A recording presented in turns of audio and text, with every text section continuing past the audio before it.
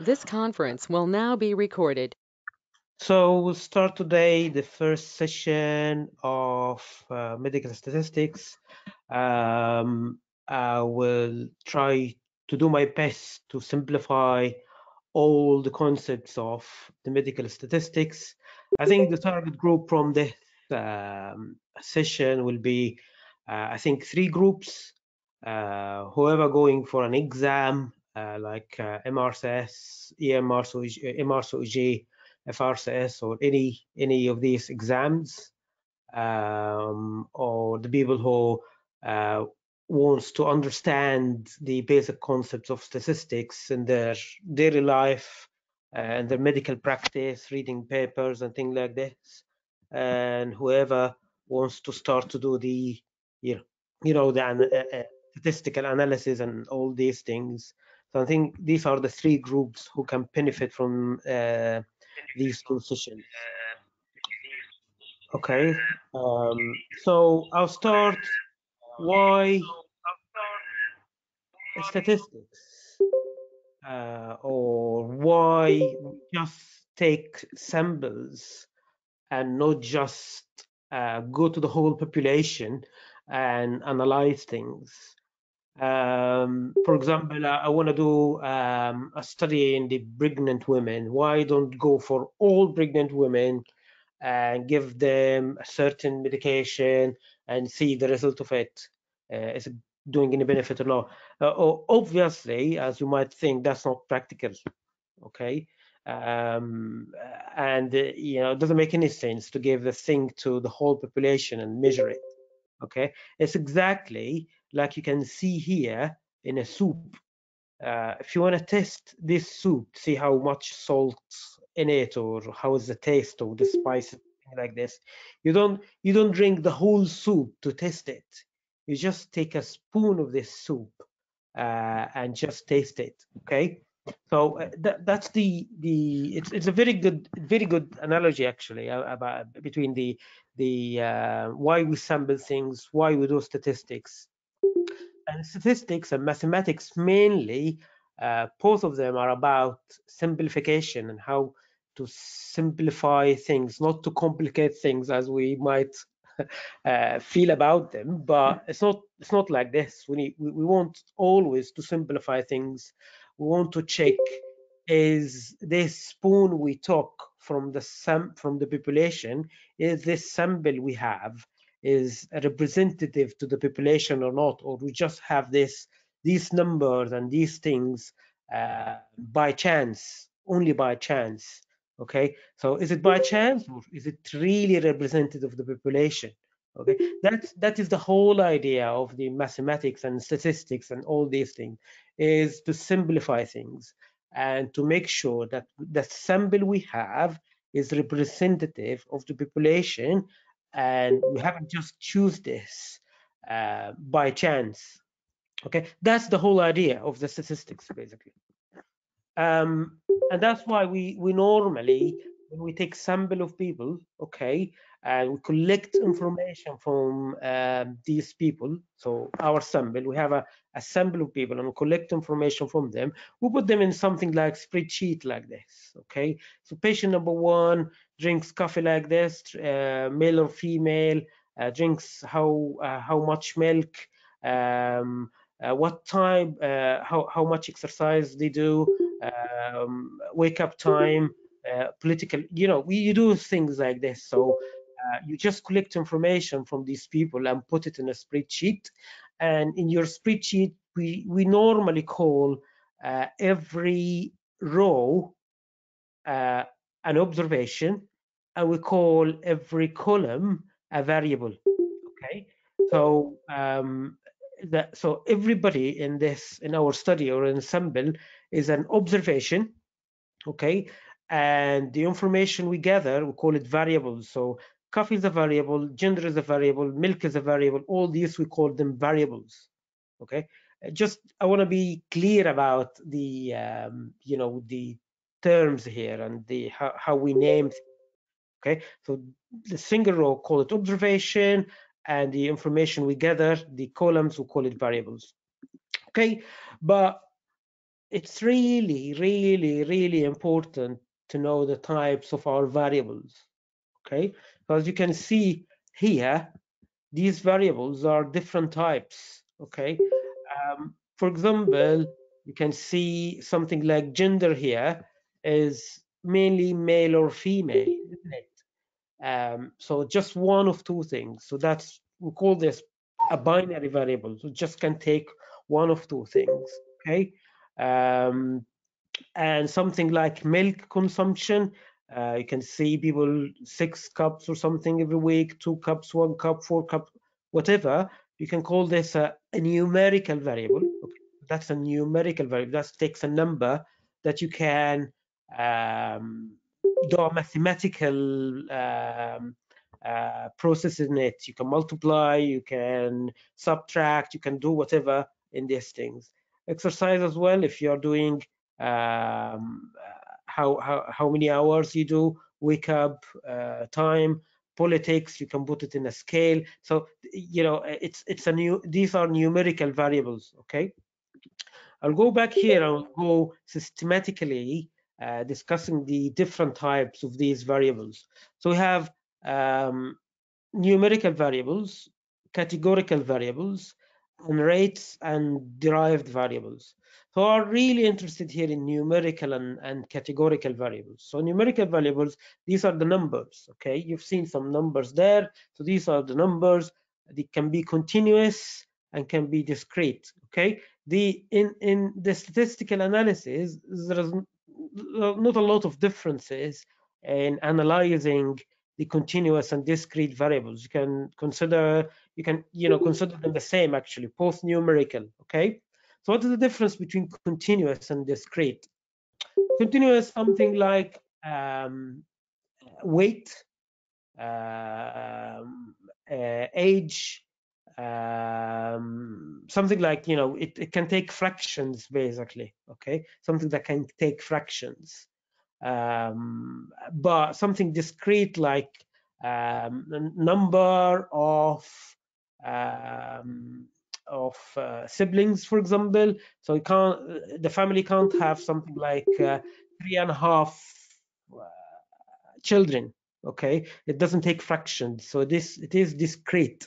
Okay, but obviously, um, and then you know you, you you've seen uh, probably in your country or in your town, uh, they might say, okay, the average number of children in the family is 2.6, for example. Okay, so it's it's it doesn't make sense. There is no 0.6 person. Okay, but you can deal with the discrete uh, variables as if it is a continuous.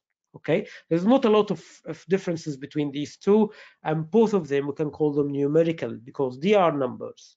Okay. Um, the other type of data is the categorical data or the binary data. So categorical data is just categories, okay? It can just be two categories, okay? And um, as I mentioned before, like male and female, like gender, and like mortality, if somebody uh, life or death, it's just really binary, uh, doesn't take any other uh, category. Um, and um, something like um, diabetes or not, cancer or not. So this, you know, uh, you might realize now this is a very, very, very important type of data in medicine, and we're really interested in analyzing this type of data because it's important clinically. It's important clinically to know uh, this this woman or this man have a hypertension or not, uh, is going to survive or not. Um, um, so, so it's really important. So uh, we'll be interested in analyzing binary data. Uh, categorical data, something like sport, uh, how, uh, which sports each body in, in, my group or my sample uh, practice, from which country. So these are more than two uh, groups, basically. It can take more than two um, parameters, okay? Uh, and my categorical data can be even ordered data okay? So we call that ordinal okay? So it's not just category it's just categories that can take intensity okay? So so something like mild moderate and severe they have orders okay? Um, or grade one, grade two, grade three, grade four, for example, or stage one, stage two, stage three, uh, you might think these are numbers. Yes, these are numbers, but are not numerical because you cannot subtract or perform a mathematical uh, process in, on them. You cannot you cannot subtract um, uh, grade three minus grade two equals grade one. It, it doesn't work like this. Okay, so it's still categories and not numbers. Okay, um, I, I hope that's clear and it's really important. May I ask a question? Yeah. Please, um, when I want to say about the Bain score, Bain score, uh, they said that they ask a patient about Bain scoring and um, to be you know, on a scale from zero to 10. So what type of data is it? Okay, I will answer another question now. I'm not going to answer this question, and you can re recognize or re you know work out what is the answer to your question. Okay, I will give you another example. Okay, I will give you the blood pressure. Okay, the blood pressure example. So in my study, if I'm measuring the blood pressure numbers, okay, I will be interested, for example, in a, in a systolic blood pressure. Okay if I'm measuring it, I'm putting it in my table, this table, in numbers, this will be a continuous variable. Okay, if I put it um, or, or numerical variable, I can put it even as a continuous because it is continuous, but I will probably put it in full numbers. Okay, I'll probably put systolic is 135. I'm not, I, I will never put, I'm going to put 135 and half okay? Although it's definitely a continuous but i'm putting it as a, as a discrete. So i will deal with it as a numerical variable in general okay?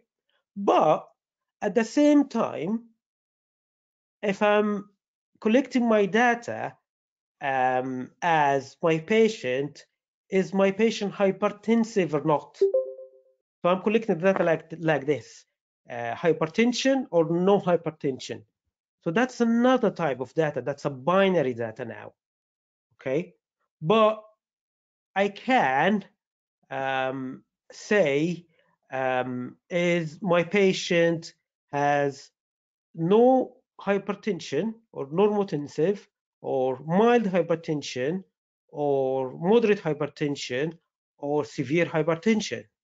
Okay, so according to how I am collecting the data, it will differ. Okay, so pain for you can you can now understand what what, what is my point. Pain, for example, yeah. if I put it one to one hundred, it can be I can deal with it as it as as a, as a, as a continuous thing. Okay.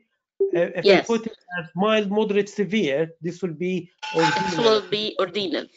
Yes. Yeah yeah yeah i got it. Thank you. Our okay so another question please. What? Sorry. Another question please asking okay. about relation between um, in in some study there was a pregnant woman 100 pregnant women and they have made the relation between the pregnant woman bmi and the outcome of the fetal weight okay so the type of data bmi is what type of data and the fetal weight it will be continuous data or can i say it's discrete data so the, the, the, the, statistical analysis for this, it will be numerical, uh, continuous or discrete. It's not going to make a big difference, okay? It's the same tests you choose uh, in these um, in these types of data. BMI, they are numbers, okay? If it is numbers, if you have in your data sheet BMI as a number, I will deal with it as a numerical, okay? If I have it in my data sheet as underweight, normal weight, um, uh, and the uh, you know borderline obesity, grade one obesity, grade three obesity, this will be ordinal, okay, according to what I have in my data sheet, okay. So you can okay. So if it Yeah, so if they give me the woman weight in kilograms, so I will choose it in the numer I will deal with it, that numerical data. But Yes. if they give the type, the class of obesity, okay, so I will, it will be Ordinal or categorical. Yeah. ordinal. Oh, Yes. okay. Okay, thank you very much. Okay, you're welcome. Uh, so, so, so I know sometimes it's confusing because one variable can be any type of data, like hypertension. You've seen here hypertension. We've seen the obesity or the weight. We've seen uh, the pain score. So you need to know what type of data you're collecting, okay? And even that's an advanced bit, but even in your when we do the statistical analysis at the end of the study, when we do it, okay, we can manipulate these types. I can convert one type to another type, as you've seen with the blood pressure. Okay, I can convert the continuous data I've collected from blood pressure to a binary or categorical or ordinal. Okay, and I can derive new variables like I've collected the heights and weights. I can drive a new variable like BMI okay so i can manipulate my data okay to help me in the statistical analysis okay so but it Ye- is important Yes, I do. Ye- Yes, I do. I do know that this um, in real life statistics that would be done, but um, for the exam purpose or from the exam point of view, actually they used to ask those questions I've asked. yeah Uh, they will give you type of data. They will give you like uh, in one question they will ask about the pain scoring, and Yeah. they say that the pain score is divided to mild, moderate, severe. Or in another question they will give you that the study have um, they have data of the study a pain scoring from uh, on a scale from zero from one to ten, okay like that. So uh, I'm asking for the exam point of view. Thank you very much, Dr. Muhammad.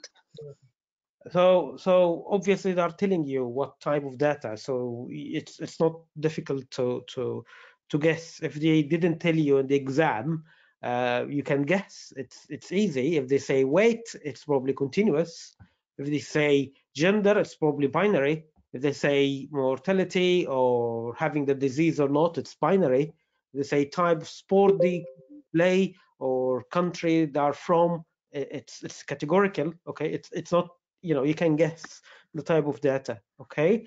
And in real life when you do the statistical analysis you can manipulate the types. Yeah i'm i'm i'm, I'm glad you've you've we spent some time here because it's it's an important thing okay? But i would really appreciate if you take notes of your questions and you can ask them at the end. Um, so i will i can carry on with the uh, presentation and you can ask me any question at the end okay? So again um, just to uh, highlight that that's an observation. Every single patient is a single observation and the characteristics we we collect in the study we call them variables okay? And we've discussed the types of variables in details and thank you very much for questions. For the really important questions.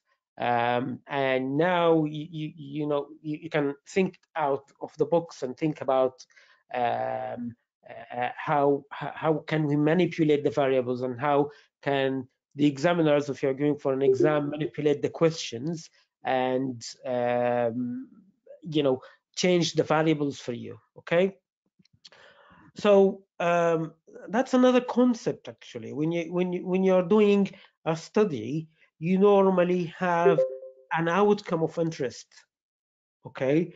And the other variables you probably consider them as an exposures okay? That's a really important uh, concept okay? When you when you collect data from your, from your sample which is we hope it is representative of the population okay? You have several variables but you are interested in just one outcome probably just one outcome. You might be interested in more than one but you normally when you analyze the data you're usually interested in one outcome okay?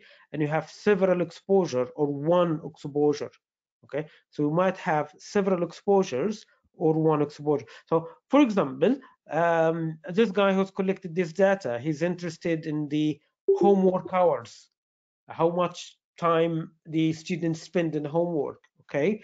And he he wants to know is the sleep time can affect this is alcohol consumption can affect the homework is the um, loving mass can affect the outcome or not okay? So he, he wants to think about this. So, so we call these exposures and we'll call this outcome okay? Um that's another example okay? So um another one collected another set of data or he's the same person with the same set of data. He is now interested in sleep time okay? So he, the sleep time is his outcome okay? And he wants to think about the effect of the homework time and alcohol consumption and the Maslow Maslow um, scale and the outcome and the outcome of the interest which is sleep time. So we might have um, it's according to what you want to analyze or the your outcome of interest okay? So some variables or one variable will be your outcome and the rest of the variables will be the exposure. You want to measure how much these exposures affecting are affecting your outcome okay? I know a lot of time unfortunately uh, this is so confusing because it's it's easy to say outcome and exposure okay? But other people give them other names. So sometimes they call outcome as a response or dependent variable or y or case control group and sometimes they call the exposure explanatory variable or independent variable or x risk factor or treatment group okay? So uh, don't get confused. We throughout our presentation today and tomorrow we'll call them outcome and exposure. These are other names. It's it's sensible. You can call the outcome as a response because that's a response of something happened to it or dependent. It is depending on the other thing on the other things. It's y because if you plotted x and y probably you the x uh, and the x if you are plotting it in in in a, graph i mean it will be the y so we'll see the x we'll see the y. We'll see these graphs and these plots don't worry. And if you're doing a case control study you call the outcome as a case control group or and uh, and the exposure will be treatment don't worry, don't worry about this these names okay? We'll call them outcomes and exposures. And if you are an exam or doing a statistics or whatever um, they're not going to give you uh, dependent or independent or something like that. If they gave you, you know, the dependent is depending on other things, so probably that's the outcome. Okay, so we'll call them outcome and exposure. Um, again, I will just keep putting this because uh, it, I know uh, it's sometimes confusing. These are the variables. The observation is the row, the variables are the columns, and variables, I, as I mentioned before, there are uh, maybe different types, as we've discussed, different types of data, um, and um, one of them can be outcomes, some of them can be outcomes, and some of them can be exposures. Again, they can they can be, as I mentioned before, different types, mainly numerical, categorical, okay, um, categorical, we are really interested in, in binary because probably this is the most common things we are interested in uh, in categorical data as an outcome. Okay, so you know you know now the difference between outcome and exposure. So we are really interested in binary outcomes. Okay, um, but we might have categories, but in exposures, not normally as an outcome. Okay, uh, continuous data can be uh, an outcome or an exposure whatever, and we'll discuss that. Uh, there is another um, type of data is rates. It's like survival rate and derived variables. We'll speak about them um, uh, in the next uh, presentation, basically. Okay, but the most common things or most common things we're interested in are the numerical and categorical data. Okay, I'll start now um, discussing um, I, I, told you that the idea of, this, of the statistics uh, and the mathematics is to simplify things. Okay, So I'll start now discussing how I can communicate um, the uh, the data within the sample I've, I've, I've, I have to the readers or the, to the other people, okay? How to simplify this, okay? How to present it to the other uh, people or, or how to display it, okay? So for example, if I have a categorical data, like for example, I have patients, uh, some of them have delivery, cesarean, forceps, normal delivery, and I want to give the numbers to uh, the people, I can put it in a in a in a chart, okay, in a in a picture, okay. Uh, the most common picture I can use, uh, or one of the most common forms uh, of pictures I can use displaying a categorical data is what we call the bar chart. I know you might be really very familiar with that, okay, and it it, it looks intuitive, uh, but the bar chart with separate parts, not not you know um, not continuous bars is an appropriate way of uh, displaying categorical data as you can see and you can see the categories here and the frequencies here okay? How many of the uh, of each category okay? And this bar chart obviously can be horizontal like this can be vertical it can be any shape any appropriate shape you can choose okay? But that's how you can display a categorical uh, variable okay? Um, the other way of displaying categorical variable is a pie chart okay it's it, it's we know we all have seen pie charts and we know that we can display this categorical variables in in a pie like this and every part displaying the proportion or the number of the cases um, in each category. Okay, so that's how to display a categorical data or to communicate the categorical data you've collected in your sample to the other people and to simplify things because we have agreed that that's the whole idea of statistics. Okay. Um, about the numerical variables, uh, you've seen this. That's what we call the histogram. Okay, um, so uh, here we can see the frequency, and here we can see, for example, this can be arrival per minute, for example, and uh, after how many minutes people can arrive. So probably uh, two people arrived after uh, one and a half minutes, or uh, most of the people arrived here around four. Take took four minutes to arrive. Okay, most of the people here at the center um, probably this is probably 12 people arrived uh, immediately after four, immediately before four. You know, that's how you display a numerical variable. Uh, that, that's what we call a histogram. Okay, that's another histogram for something very common. We collect this data about the age, uh, have a sample, uh, have here, for example, um, about five persons or five people between 50 and 60 years old okay um, that's again a histogram okay uh, it's not a something uh, you know we call this a histogram. That's the name of this graph. The other way of uh, displaying this numerical uh, variable is you can come here and put a put just a curved line or a broken line or whatever just a line instead of putting in bars okay? So now you can just put it in, in a line like this uh, instead of putting it in a histogram okay? Um, and you will see this uh, picture again okay in the next few um, uh, uh slides okay and you might have seen this before a lot and you've heard about what is normal and what is skewed and what they, we'll discuss this later. I'm just now discussing how to display the different types of data okay? There is another way of displaying uh, a numerical data okay?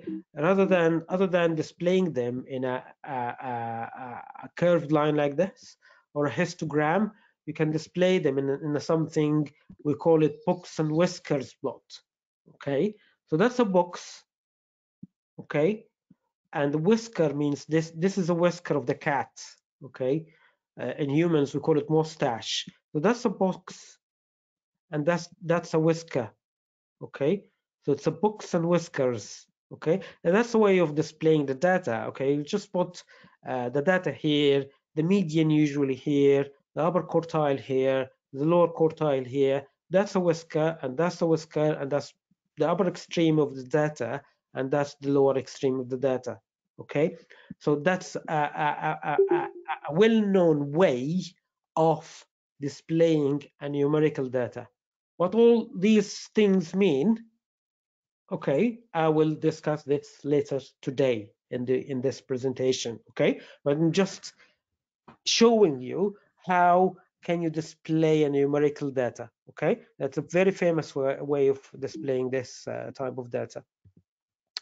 Another way of displaying your data uh, it's something we call a cumulative frequency distribution and that's uh, how you display um, the data against time okay? Something like uh, survival rate or survival probability against time. So for example you have cancer stage one two three four and you follow the number of these patients or the probability of survival of these patients with time okay?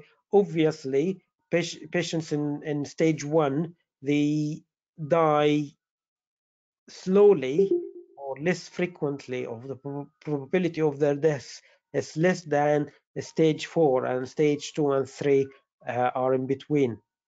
Okay? This is um, a very very famous curve or very famous plot okay?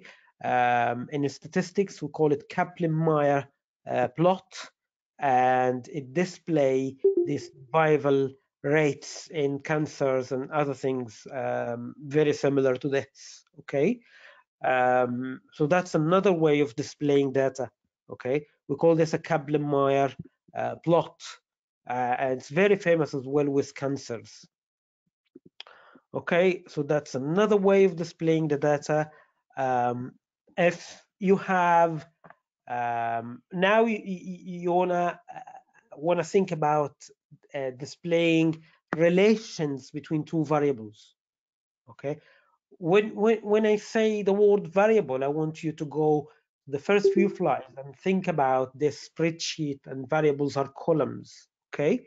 So now um, i want to display the relations between two variables. If they are categorical just put them in a table or call it contingency table okay called it's that's the name of this table. It's called contingency table.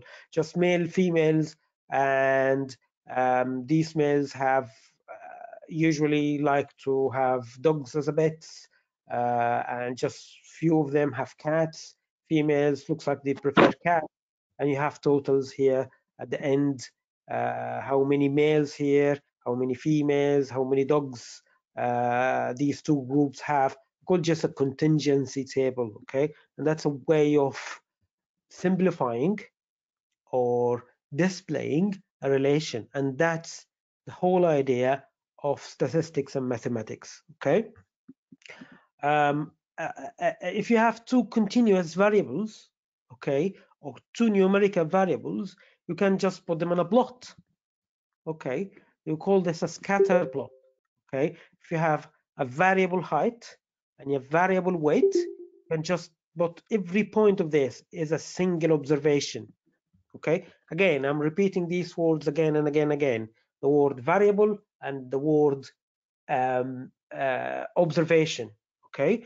So each point is observation and the height is a variable and the weight is a variable. And from where we got this data? We got this data from our spreadsheet which have columns variables and rows observations so that's a person here who have uh, who's probably 135 centimeter and the weight of this person is about uh, 75 uh, kilogram.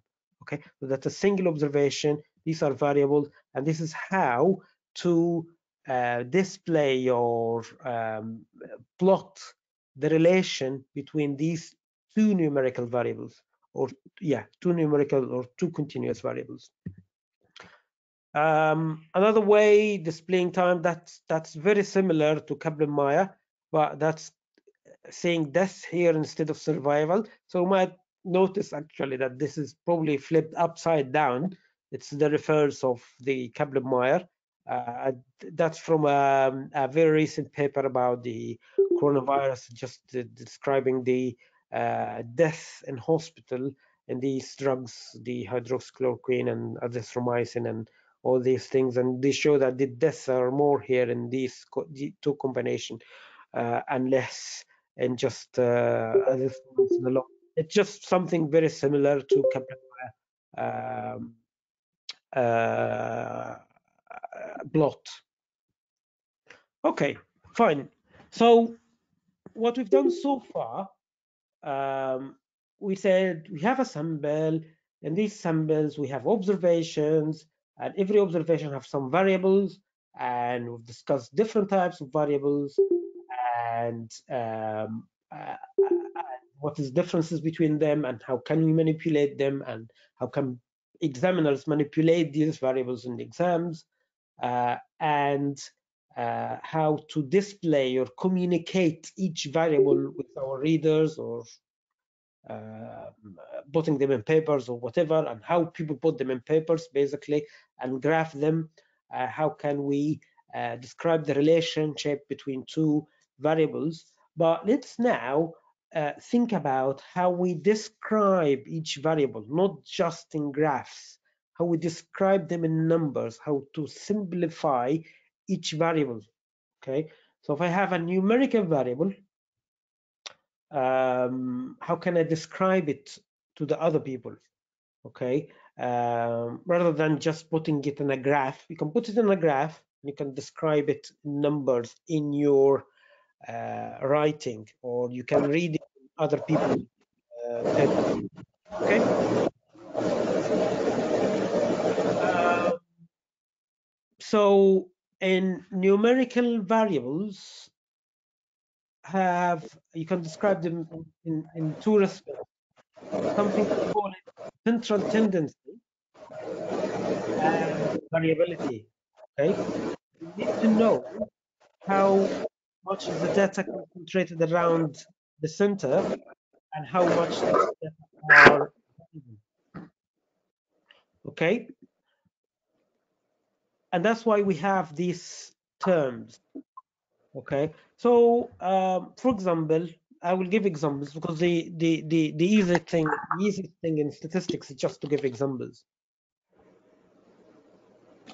I would say this is uh, something like um, grade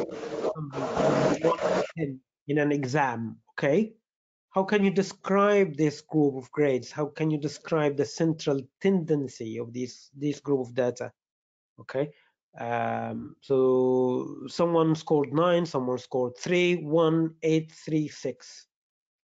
So we can take what we call the average. Okay, so the average is the sum of all these numbers um, subtracted by the number or the n of the group so 9 plus uh, 9 plus 3 plus 1 blah, uh, uh, subtracted by 6 will give you 5. So that's the average. What we call this the mean. Okay, and this mean this one of the thing that we can describe with it the central tendency of our group because that's the average. Okay, so the mean is the average or the norm basically, and we can add up all values, find the total, and divide it by the number of these uh, of the sample. Okay. Another thing to describe the center of my sample is something called median. Okay, and the median is just the middle value basically. It's just the middle value. So you have to arrange them from the smallest value to the big the biggest value okay and take the middle number and that will be the median okay? So but in, in a sample like this it has even number okay? Uh, you don't have a middle value. You can just get the two middle values and subtract them by two. So 3 plus 6 subtracted by 2, it, it equals 4.5, 4.5. Okay, so that's Uh, just another way of describing the center of my sample. Okay, so a mean, the mean is a, is, a, is a way, median is another way. The third way is what we call the mode. Okay, the mode is the most frequent value in my sample. So I have still have this sample, okay, the same. Someone scored three, nine, one, eight, three, six. The most frequent one is three. So the mode of the sample is three. Okay, so these are the three terms or three concepts uh, or three ways uh, by them I can describe the uh, center of my numeric numerical variable. Okay? Um, you can use any of them okay? But in, in certain circumstances uh, one of them is better than the others okay? So sometimes you can just use the mean sometimes you can use the median. It's not common that can use the mode. I will say i will tell you when you can use the mean and when you can use the median. Normally you use the mean but sometimes we need to use the median. And you will will be surprised as most of the papers will code the median okay? And very rarely they have we have the mode. I will tell you when the range is just describing the difference between the highest and lowest uh, value basically. So it gives me an idea about the variability or how how how uh, much my um, numbers spread around the uh, central value okay? How much i have a spread.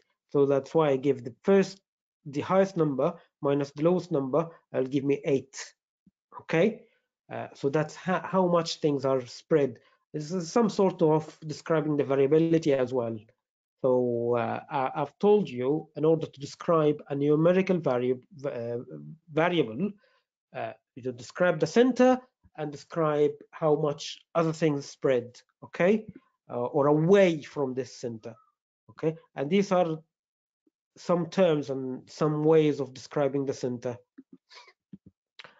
Um, again, I will just run through this quickly. Mean is something um, like the like a balancing point actually, because you um, add all these things and uh, and subtract by the number of the symbol. It's like um, um, a balancing point, but you might notice here if we have a very extreme number very far away from the center of my um, sample, okay, and we call this outlier, okay, it's called outlier because it's very far away, it can really affect the mean, okay, because I'm adding a very high number to the rest of the numbers, so it will shift this balancing point towards the outlier, okay. Again, if I have an outlier, if I have something, it's not just uh, 40, uh, to 45 if there's 100 and all my sample is here my sample will the my sample mean will really be shifted towards the outlier okay? And that's why sometimes we really prefer to use the median because it give us the midpoint okay? So mean is really affected by outlier so it's not the best thing to describe the continuous or the numerical variable um, variable if it is if there is there there are, there are a lot of outliers or there is outlier okay we prefer median. And and and that's why again okay if you have you this is your sample okay um if i use median uh, and I, I had an outlier this is the same symbol but just added one outlier to it. So the median will be you know uh, probably the same or just shifted a little bit. But if i use mean here added 40 to all these numbers okay to 8 6 7 uh, 4 and 2 and these things my my mean will be really here will be shifted here and it's not going to be representative of the center of my sample okay? That's why we have the median and the mean okay? The mean is the logical thing is the balancing point is the mm-hmm. best thing i can use but i cannot always use it okay in all numerical variables okay? My numerical variable should be something like that like this okay has a real central tendency or like the bell curve okay to use the mean okay? But if it didn't have the bell curve uh, uh, and the histogram bell curve shape and has a lot of outliers or one outlier i cannot use the mean. I should use the median okay?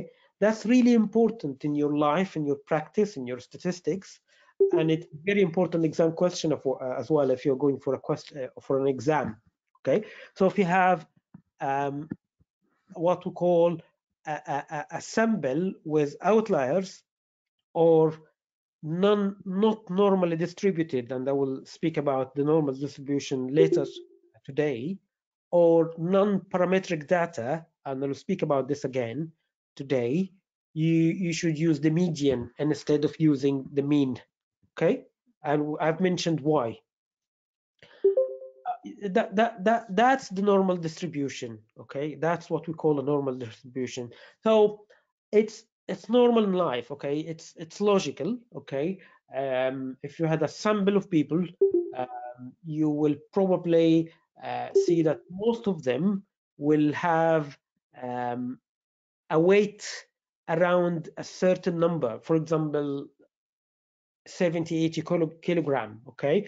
And the rest of the whole population will have less frequencies towards the higher weight and less frequencies towards the lower weight okay? But most of the population that's the normal life. That's that, that is something uh, they call in statistics the central limit theorem okay? All these normal variables in the life um, tends to have this shape or this curve.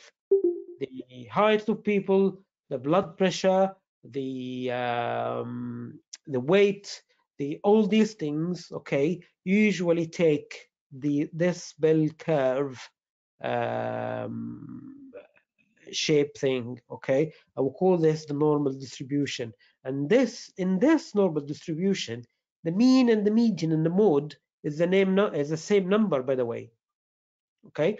But when when data start to get a little bit skewed, um, it, it change okay? Uh, the because we have outliers here so the mean the the moods uh, the mean will really change okay? I will go towards the outliers okay? But the median and the mode uh, still represent the center of my data and the same is here. Mean change a lot uh, when i have outliers or skewed data. I usually use the median okay because it's the midpoint of my sample it's it's it's I, I, know you might say the mode might be representative of the, of the center but um, in, in large data it might be um, something you know not all data very smooth like this. I might have the mood here or have a curve it's not smooth like this okay? Um, they have variability in the in in in, in their uh, observations okay? So the mood is not accurate like the median. Okay again i know uh, i'm not you know uh, uh, intentionally uh, making things difficult but what we're doing we are uh, describing numerical variable to the people okay? And we just want to describe uh, the center of our uh, sample actually. Just describe the center of our sample nothing else okay? Here um, we know now we know how to describe the center of our sample. It's probably the mean or median but here I want to describe the variability of my sample okay? That's a way of describing the variability of the sample. We call it the range and the interquartile range okay? We spoke about the range before. The range is the um, highest and lowest um, highest and lowest uh, observation number. And just subtract them um, and uh, you will have the range. Okay? But we know that the median is dividing our sample to two halves upper half and lower half because we know that our median is middle value okay? And even if it is even number like this we get the two, these two numbers and get the the uh, average of them okay? Or divide them by two okay? So the median is dividing this our sample to two halves upper and lower. There is a way of describing the variability we call it the interquartile range. We'll divide the upper half in two halves and lower half in two halves we'll have four quarters we have four quarters here quarter here quarter there quarter here quarter there. And the difference between the this quarter the upper quarter and the lower quarter we call it the interquartile range okay? So if i've just subtracted 72 from um, uh, 64 uh, the number i will get 13 i think it will be the interquartile range okay? Just yeah it's 13 here. Just a way of describing the variability in my sample okay?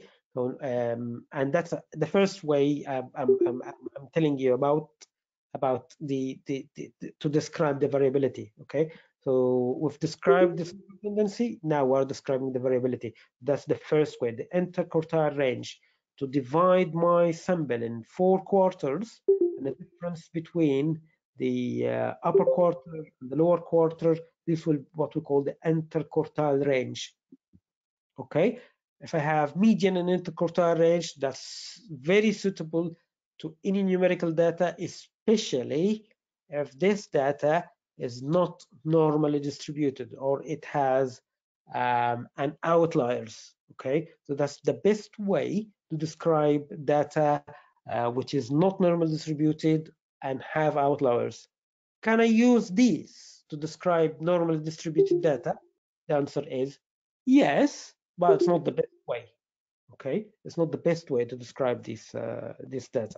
Okay, so the best way to describe um, the normally distributed data, I will I will show it to you um, and later, but I will show you now if I have a normally distributed data like that, okay, uh, you can put it in, in, a, in, a, curve. It looks like the normal distribution curve. Uh, we use the mean, we usually use the mean, okay, and we use what we call the standard deviation. I'll discuss this later, okay. Can you, you but you still can use the box, box and whiskers, okay, the box and whiskers. The box uh, I've showed you you this box and whiskers before. Has a median in the middle okay? And the books have the first quarter and the uh, last quarter or the third quarter um, at the middle in the box and the whiskers have the other um, higher and lower quarter. So the one you've seen is a vertical one that's a horizontal one the same is the box, box and whiskers and that's the curve um, you can show the people the data. But now you know um, uh, what does it mean in this box and whiskers. I've showed you before i'll show you again okay? If i have a variable continuous variable i can put box and whisker. That's a vertical one the other one is a horizontal one doesn't make difference actually. It's the same okay? It has a median in, in the middle it has the upper quartile here and this the upper extreme has a lower quartile here, and that's the lower extreme. Um, and we call this a whisker, as I, as I showed you before, uh, and that's just an outlier uh, uh, variable in my sample. Okay, um, so that that's how uh, I we, you can understand the box and whisker um, um graph. Uh, now I will speak about how to describe my numerical variable if it is normally distributed okay so I've mentioned that the, the, the best way of describing the center of normally distributed data is the mean okay but how can I describe the variability in my data? Okay, and non-normally distributed data or any type of data can use the interquartile range and and these and the range and these things. I can still use it here, but there is another way uh, people, um, you know, um, described to to describe the variability in my sample. Okay, so someone said, okay, can I just get the distances between every single point of these observations and my mean? Okay, so I'll get all these distances, okay, from both sides and just sum them, get the sum of all of them and uh, uh, and uh, divided by the number of the data and I will get the average distance between all these observations in the mean. It is sensible if you got all these distances, okay, uh, from the mean and divided that by the number of the observations or the number of my sample, will give me the average, okay? And this will be a very sensible way of describing the variability. I would say the average distance or average uh, uh, variability in my data is this number. But when people try to do this mathematically, they found a problem. The problem they found that they found that these these uh, numbers are positive and these numbers are negative. When they sum them, they give them a zero. Okay, so when you add this to this, it will give you a zero. So that's a problem. you cannot get, get the average of the variability in your sample, okay? What they've done, okay, and um, I promise I'm, I'm not going to go deeper more than this, but they have, um, um, uh, you know, um, multiplied all these numbers by themselves just the uh, to the power of two. They take all these numbers and put them to the power of two and took all these differences and put it to the power of two and sum them up. And they have created uh, a number called the variance the variance is just all these distances okay to the power of two um, added to, uh, together okay? So add all these numbers together it will give you what we call the variance okay? So the variance is all these differences okay uh, to the power of two um, sum up okay the sum of all these numbers okay and when they, they, they, need to go back now to the normal. So you need to take the square root of this sum okay? So the square root of the sum of all these numbers which is the variance so the square root of this variance they have called it the standard deviation okay? That's a way of describing the variability in a sample in a numerical variable okay? We call it the standard deviation. If you don't understand that's not a problem that's not a problem that but that's from where this standard deviation came. It is something to describe the variability in the sample okay? And it is related to the differences okay? Um, um, and the difference distances between all these variables. So, for example, if the average weight in my sample, I'm just speaking about the weight variable, which is a numerical variable, okay? If the average weight is 80 kilogram, okay, but I have people here with 90, 100, 150, and all these things. So the difference between 100 and 80 is 20 okay but i have people okay with a weight of 60 so that's minus 20 okay so i've get this minus 20 minus 30 minus 40 minus 50 and this positive 20 positive it's not going to work. If i added all of these and uh, divided by the number of the sample i will have zero okay? But uh, if i gave 20 um, uh, make it 40 because I have to the power of 2 the 30 I will make it 90 to the power of 2 and these minus 20 it will be 40 it's not going to be minus 40 okay uh, because it is powered the power of 2 okay and added all of these and then uh, added all of these numbers, what we call a variable, uh, the variance, I'm sorry. And if I took the, square root um, of the variance, this will be the standard deviation. I don't want to get to, to, to go deeper more than this. Okay, I know uh, I know there are some questions, but I will leave them to the end. Okay, the standard deviation is a way of describing the variability of my sample. And we really found a very nice characteristic of this standard deviation. Okay, and this character of standard deviation is one standard deviation away from my sample to the right and to the left okay, contain probably 68% of all my observation. So if I have, um, again, an example about the weight, if I have a weight of 80 as a mean in my sample, and I have a standard deviation of 20, so people who are who their weight between uh, 60, which is one standard deviation below the mean, to 100, which is one standard deviation above the mean. Okay, so all the people between 60 and 100, okay, um, this will represent 68% of my sample.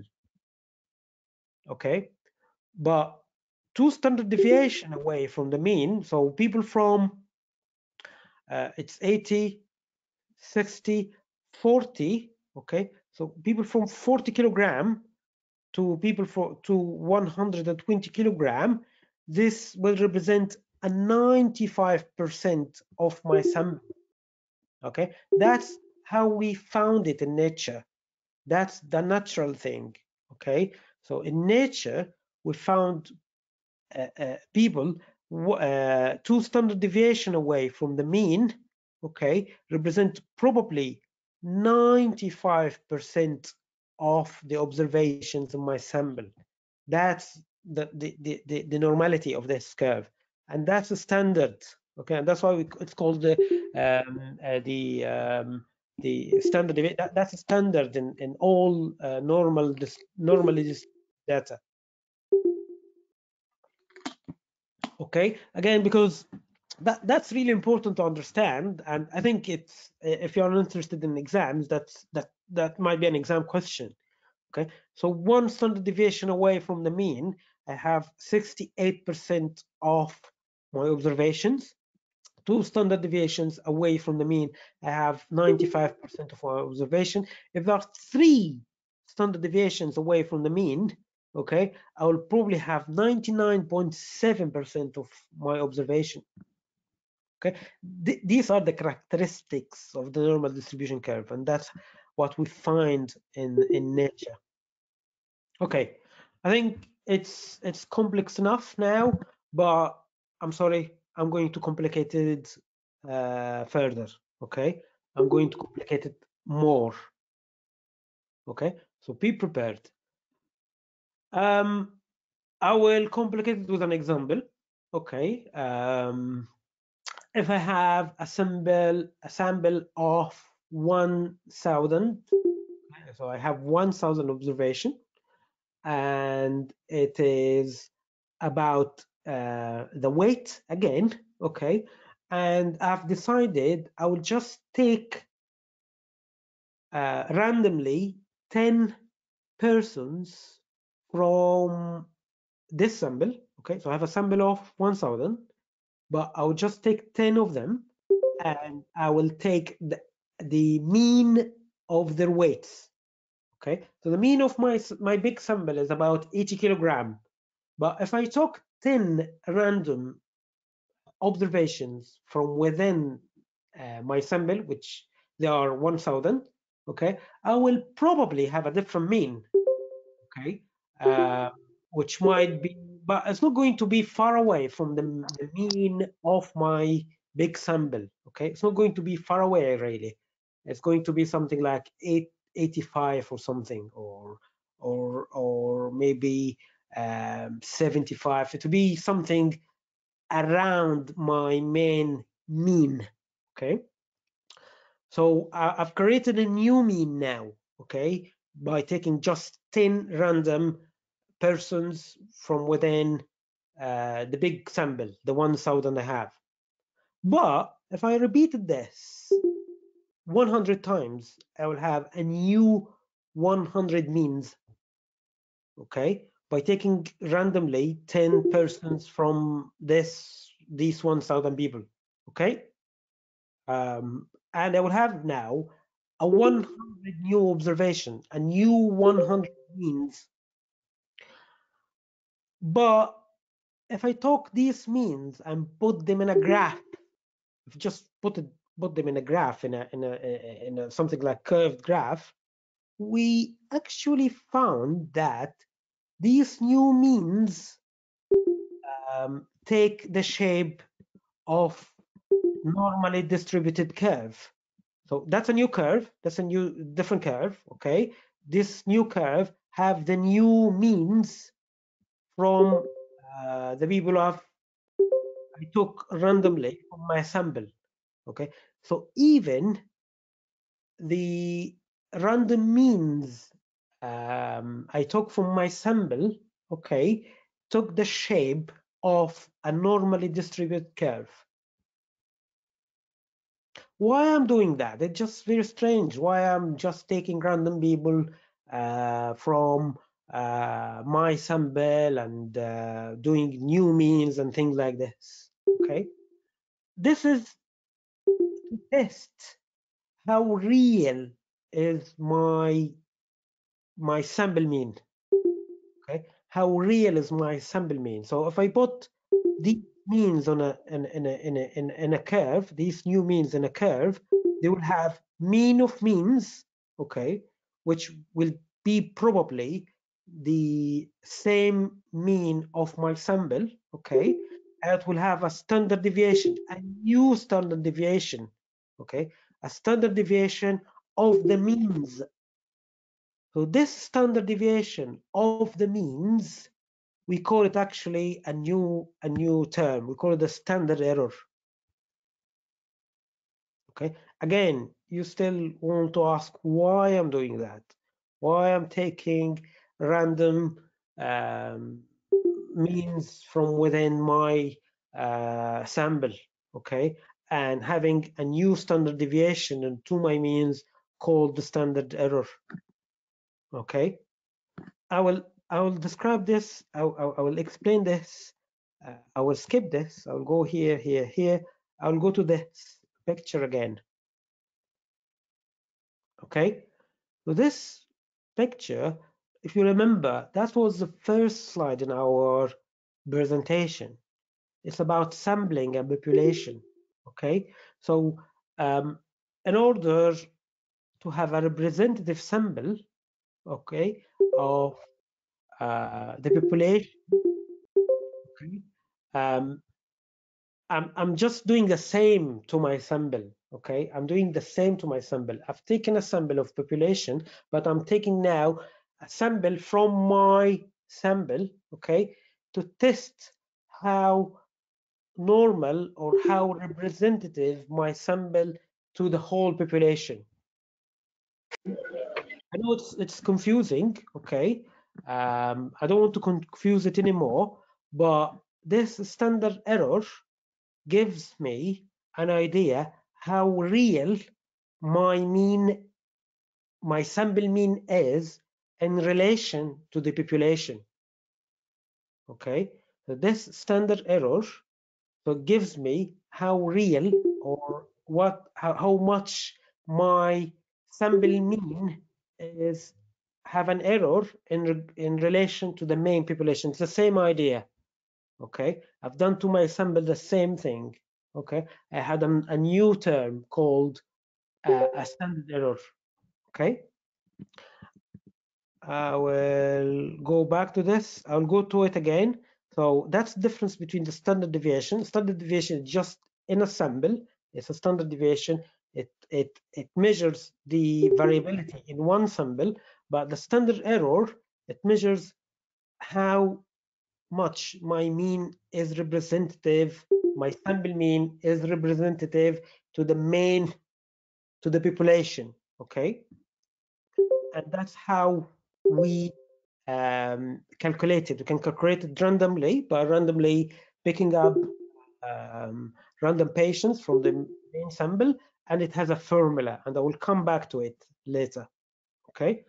That's the formula, okay? Um, and this formula, the standard error, usually um, is related to the standard deviation to how much my sample is variable okay to how many persons in my in my sample so that's if the number of my sample um, increased this lowers the error and if the variability in my sample is high this will increase the error and i will tell you why that's because of that that's because, again, of the soup. Okay. So if I didn't mix the soup very well, okay, I will get a sample in my spoon with high variability.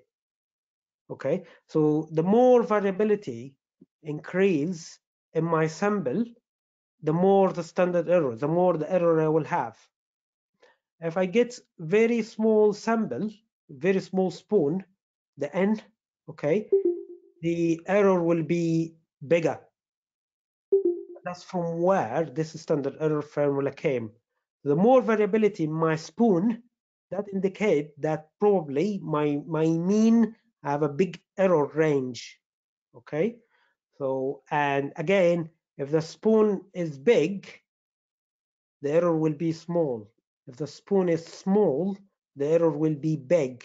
It's, it's intuitive, okay? It's intuitive but uh, uh, uh, you know you don't need to go that deep but just it, it it it's good to know actually okay? From where the standard error came and what's the difference between the standard error and the standard deviation? Standard error is something related to my mean okay? So it's it's, it's called the standard error of the mean okay?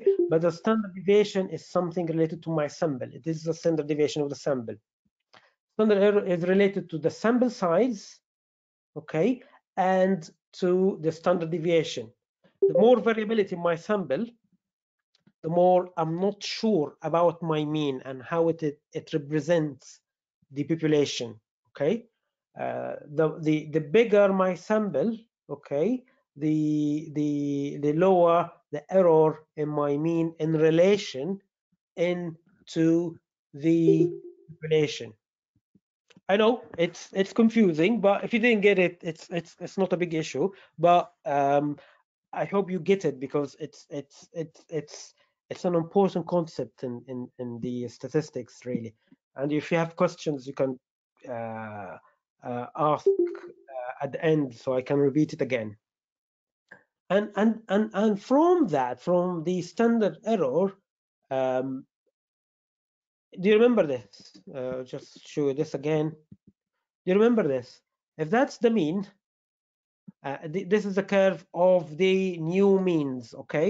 So that's the mean and standard errors here. This this is the curve. It's not that's not the curve of the sample, okay? That's the curve of the means, which is, is normally distributed as well, okay? So that's the mean of means, and that's the standard error, which is the standard deviation of the means um, I got from the randomly selecting 10 patients from my 1000 uh, uh, size sample, okay? If, if, that's the mean and that's the standard error, if if I have, um, I know the number of the standard error, probably five kilogram, the standard error of the weight of my sample is five kilogram. So five kilogram away from 80, um, that's uh, one standard error 85 and this will be 75 and this will be 90 and this will be um, um, uh, 70 so 70 80 90 uh, because the standard error is, is 5 so I can now say um, uh, between 70 and 90 kilogram I have 95% uh, of my uh, means or my sample, okay? Or I can say the sample of the new means, or I can say probably my mean is 95% lies between 70 and 90, or I can say my mean is 80 kilogram and I am 95% confident that this mean lies between 70 and 90 okay? I, I said it in different types but that's from where the terms confidence interval came. The confidence in 95% confidence interval they calculate it normally okay two standard error below and above the mean okay? So that's how they calculate the confidence interval is it is by the standard error they calculate the standard error of the sample okay and they can say we are confident that our mean is between this number and this number by 95%. Okay, um, and why we are not sure? Because we took a random sample from the whole population. Okay, and we we we, we took this concept from again taking random sample of our sample. Okay, I don't want to go further in this, but that's from where the terms 95% confidence interval came. Okay, it's from the standard error. Two standard errors below and above the mean. Okay, give us 95% confidence interval. Again, if I use the weight um, example, okay, so I will use the same curve. If I have this curve for the sample, mean is 80, the standard deviation is 20, so that's the um, the mean 80 one standard deviation above will be 100 two standard deviation above will be 120 below 60 uh, two below will be 40 that's the sample that's the standard deviation of the sample that's the shape of the sample but if I spoke about my mean okay and the mean of means uh, and the means are chosen randomly from my sample okay uh, the standard error probably if I calculated by the formula or whatever according to sample size and standard deviation if it is five uh, that's the, something different. That's something from which I can calculate the I can calculate the the uh, confidence interval. If it is two standard error above and below um, mean that's I can say uh, my my I am confident that probably my mean lies between this number and this number. And that's why you will go um, um, and, read in your uh, the papers and literature um, we have the mean of that number but the the um, confidence interval is between so and so. That's how they calculate it okay? I don't want to go more than that in depth okay? But i will go again to the to simplify things again. Okay?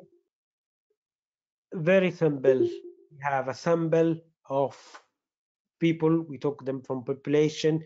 Um, this is an observation these are variables we've discussed types of variables uh, we've discussed how to display variables to display uh, relation between variables and how to describe variables um, regarding how to display the, the, the, describe the center of the variable.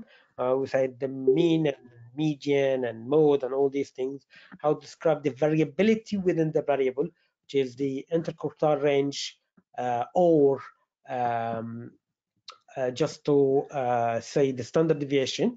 Okay, that's describe a, a numerical variable, describe the variation in a numerical variable.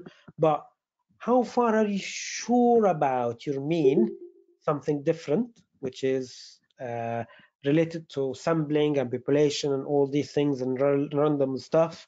Is something related to what we call standard error, um, and that's from from from, from which we can um, uh, calculate the confidence interval and we say our mean probably uh, we are confident 95% between this this number and this number. Okay. Uh, I want you to take a deep breath here. I just uh, absorb what we've said.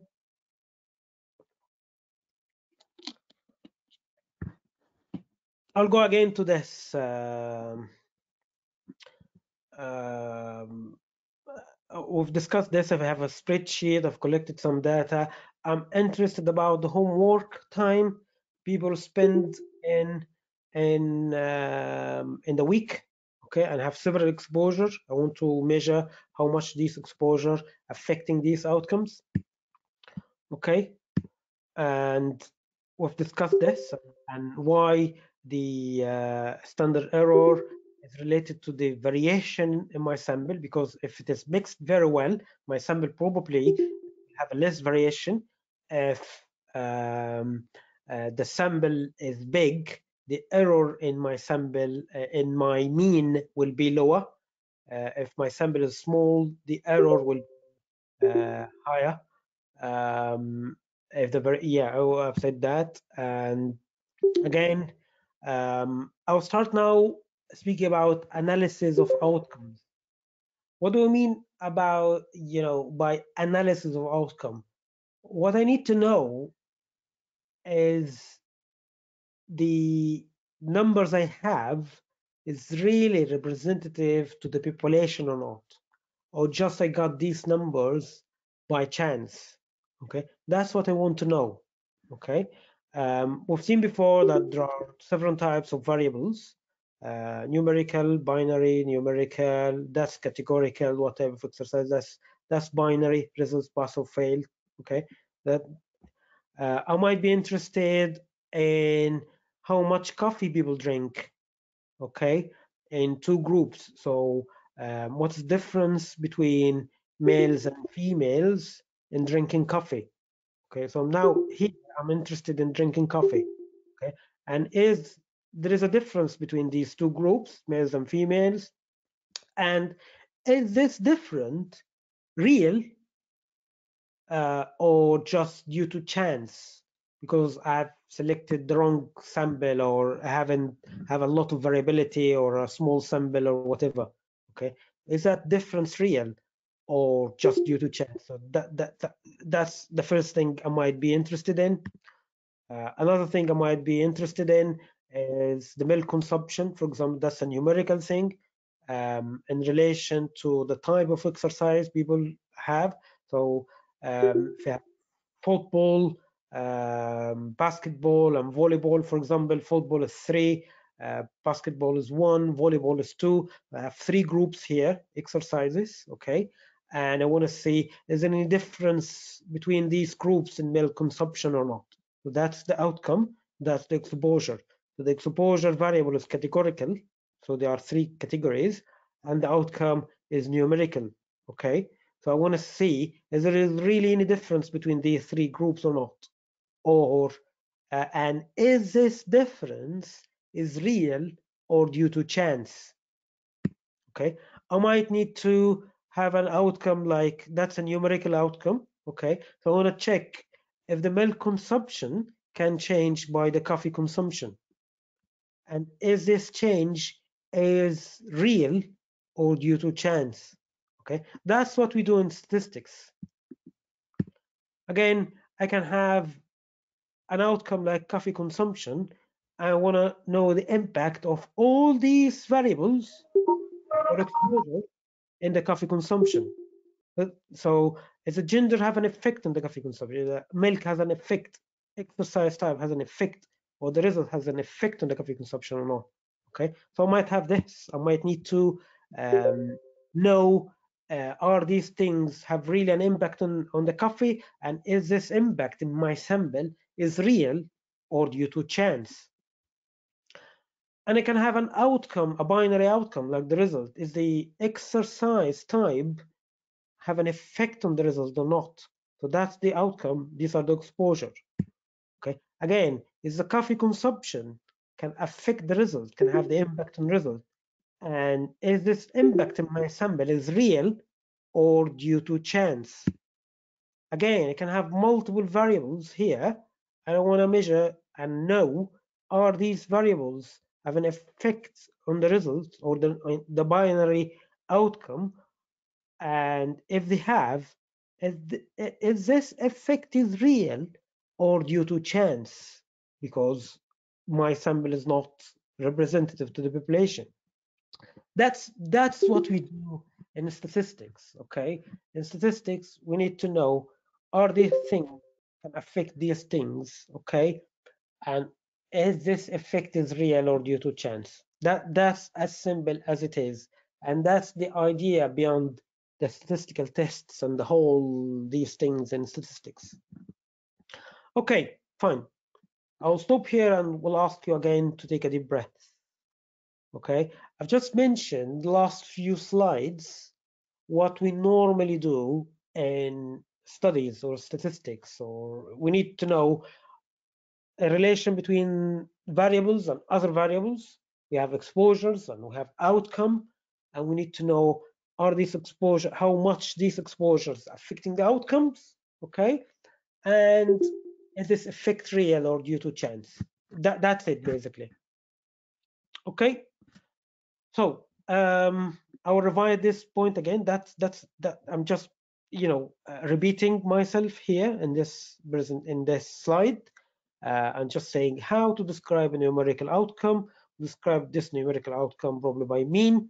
Standard deviation, mean central tendency, standard deviation is variability, standard error of means to, to see how much I'm confident about my mean, okay, my mean, okay. So standard error of mean is another way uh, to describe how much I'm confident about my mean or sure about my mean, and from which I can have the 95% confidence interval of this mean okay? And that's what we normally how do we describe um, uh, numerical variables oh we've discussed normal distribution.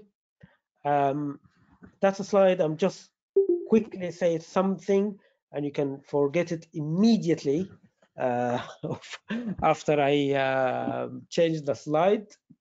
Um, so um, uh, one of the statisticians called William Sealy Gosset, uh, this man found um, that the distribution in small samples, small numbers, around 30, if I have a sample of 30 observations, okay, uh, doesn't fit in a normal distribution. It fit in, in, another distribution, very similar to the normal distribution, but he called it T distribution, okay? Um, and this Gosset, this gentleman, he was a statistician and brewer. He was working in a in a beer uh, company. Uh, they sell beer and things like this. Um, that's why when he published this observation, he didn't mention his name. He he he just put his, you know, instead of putting his name, he put a, a student.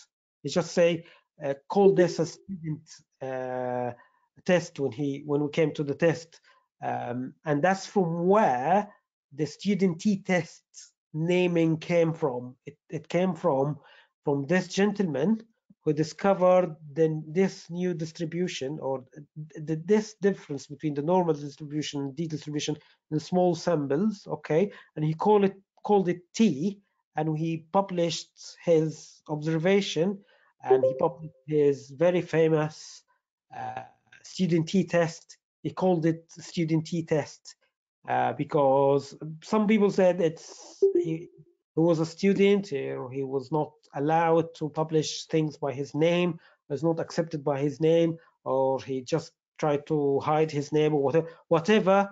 Okay, just forget about this slide when I just go to the next slide. But that's from where the naming student T test came. Okay. Okay, so I will now discuss how we analyze numerical outcome. Okay, and here I to see in the group in two groups, males or fe uh, or females, um, how the gender is affecting the coffee consumption. So basically, I have two groups. It's it's binary. okay so there are two groups okay and every single observation has a number the coffee consumption so what i want to see is there any difference between these two groups males and females and if there is any difference is it real or due to chance okay? That's what i want to do okay? So what can i do? These are two two groups. Uh, we assess the difference in mean. So we can get the mean in one group and the mean in the other group okay? And see is there any difference between these two means? And if there is a difference is it real or due to chance okay? Again you can have a look at this slide and forget about it immediately after I finish it okay? So what I we found that in nature differences in means okay if i took random sample from the males group a random sample from uh, females group and get the difference in mean in these two random samples in the two groups. So if i have 500 males 500 females and i took 10 male and 10 females and have the mean from here and mean from here and get the difference okay? And did that 1000 time 10 from here 10 from there mean versus mean get the difference 10 from here 10 from there mean the mean hair mean in males mean in 10 females get the difference. Find that all these differences in mean takes again a normally distributed curve okay and from this normal distributed curve I got the standard error of this differences in mean okay I can say that um, probably um, if the difference in means um, away two standard errors from zero, okay, so I'm 95% confident that this difference is real. If we get this, forget about it. But it's that's the idea of the t-test, okay? And that's the only test I'm going to give you uh, how it's done very, very quickly and briefly. That's how the t-test is done, okay? The t-test, the take differences in mean between the two groups and uh, they get the standard error of this difference in means, okay, and put it in a curve and see um, is this difference in mean, um, how far is it away from the zero, if it is really very far away from the zero, if it is two, more than two standard errors from the zero, okay, so the the the the the probability of having this difference due to chance, okay, will probably be just five percent. Okay, the rest of this curve. Okay, so if the difference between the means were sure it's 95 percent, uh, there is a difference. Okay, so that's a significant result. That's a significant difference.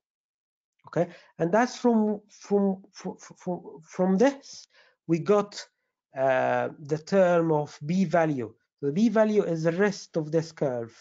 Okay, the rest of this curve, if it is less than five percent, which is 2.5 here and 2.5 here, so we know that um, we are 95% sure about our uh, this difference okay and that's why the more the b value is low the more our uh, the difference is statistically significant okay? And why we choose 5% why we choose 95% that's because we've decided we'll choose this number uh, as a confidence in medicine okay? Um, so that's that's something we just choose uh, in medicine. Um, for example, I think in um, in physics, um, in the Large Hadron Collider in Switzerland, when they do discover the new particles and all these things, they depend on statistics as well. Okay, but they have very, very, very small b values. Okay, because they have decided in order to discover a new particle, you have to be very sure. But in medicine, we've decided that we'll accept um, a, a, a, a chance of 5% that the differences in the means or the significance of our test is just 5%. Okay, that's what we decided in medicine, okay, or in biology in general, I think. Okay, um, forget about it. Um, if you don't get it, that's not a problem. I'm just, you know, um, wanted to mention how these people thought about statistical test and how they did it, especially t-test, student t-test, which is basically uh, comparing two groups, numerical variable in two groups. Okay. Um, what does the b value mean? b value mean just that this this difference in means probably is um, um, by chance by that value. So the b value is five percent. So uh, it's a five percent that this difference in mean um, is due to chance.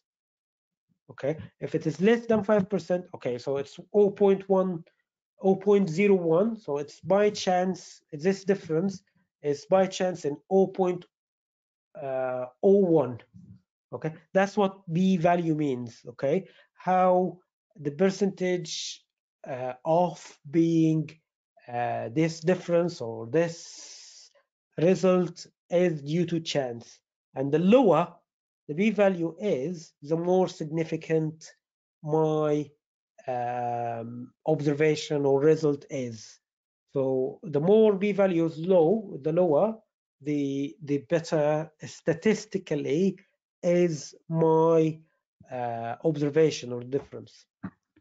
And this, this is something related to one of the philosophers from the uh, 12, 20th century. I'm not going to speak about the hypothesis testing today, but um, these tests are based on his philosophy, basically.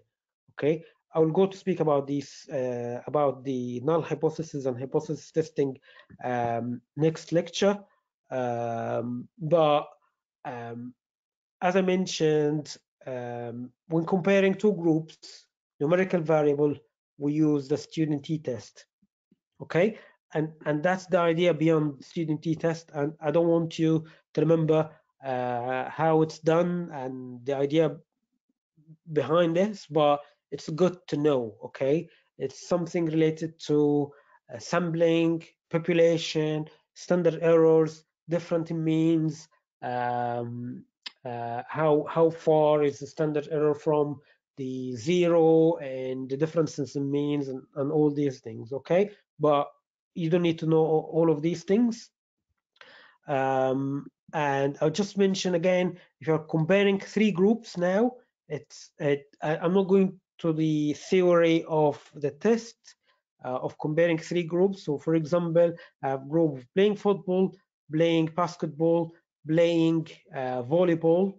So I give every each group a number and I need to compare the differences in means um, and their milk consumption. I need to do that and I need to know if this this difference is real, it's not due to chance, we we do a test we call it analysis of variance it depends on the variance um, amongst this these three groups okay and you just call it ANOVA it just this ANOVA test i'm not going to, to, to, to any details about this ANOVA test but it is the test uh, used to um, analyze a numerical outcome uh, in more than two groups okay?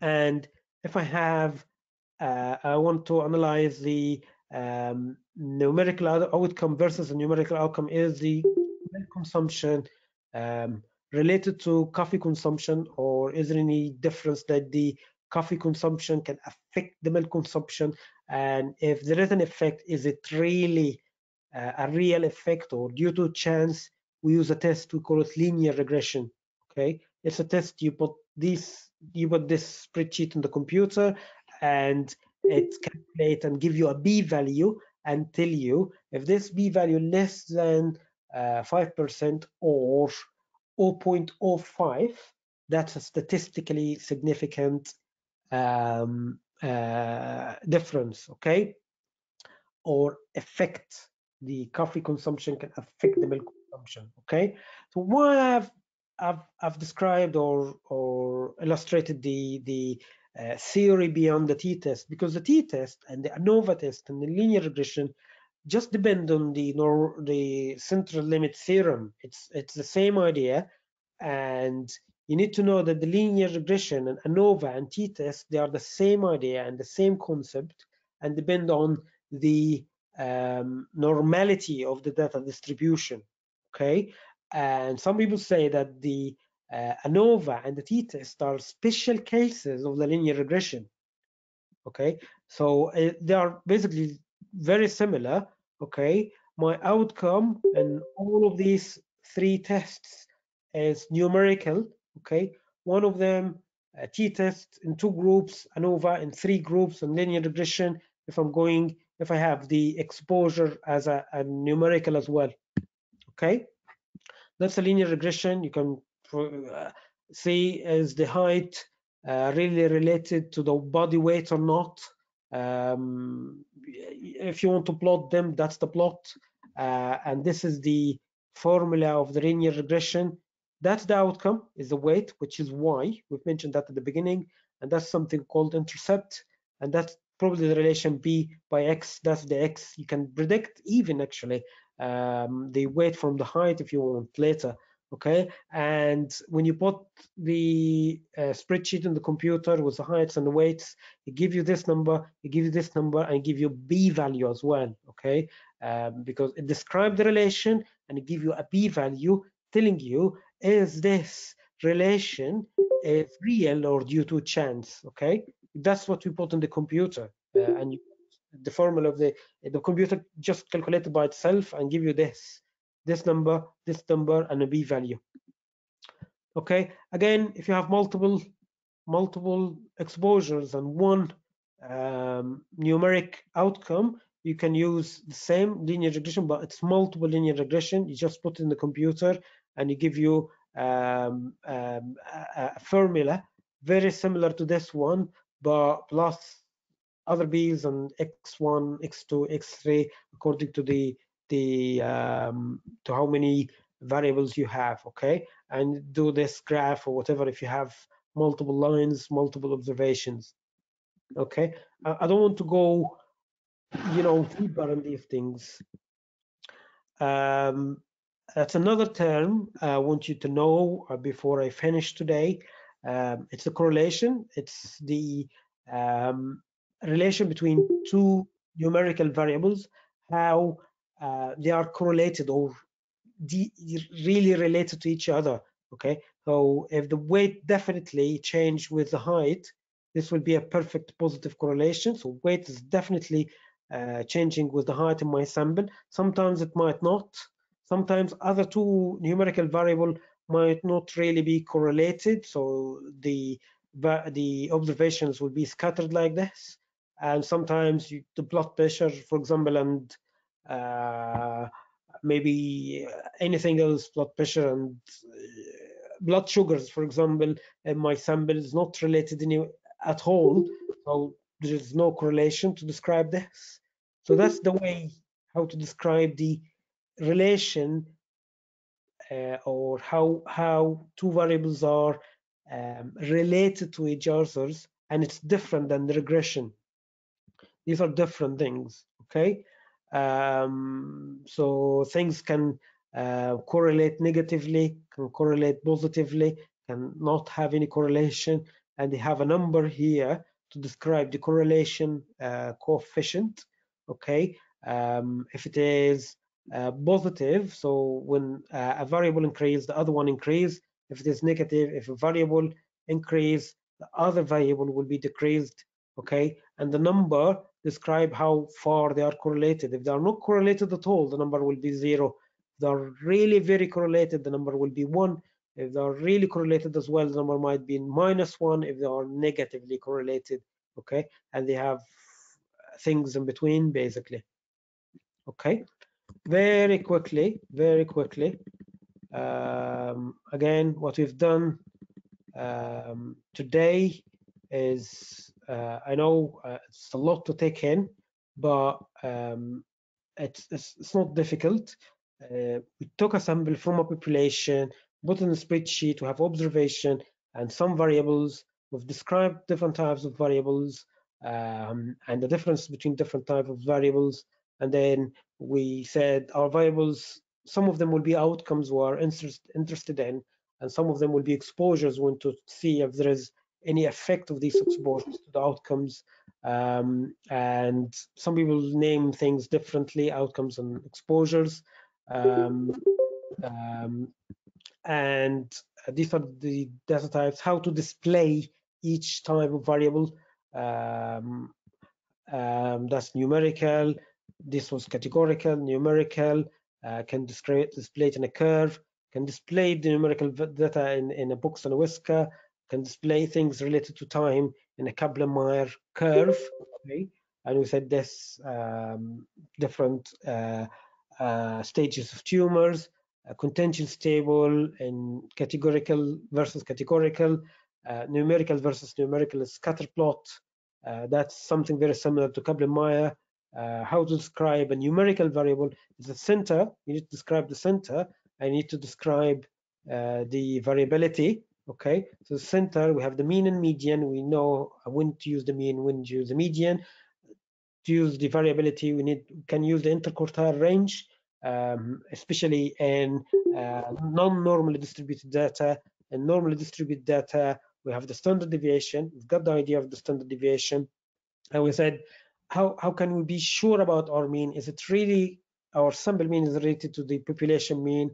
and that's from where the standard error came and how much our mean is wrong or error which is related to how much is the variability in our sample and how big is our sample okay um, and um, we've discussed um, we have some variables uh, if we have a numerical outcome so today we've discussed the numerical outcome the numerical outcome and how to analyze and to do statistical tests in numerical outcome.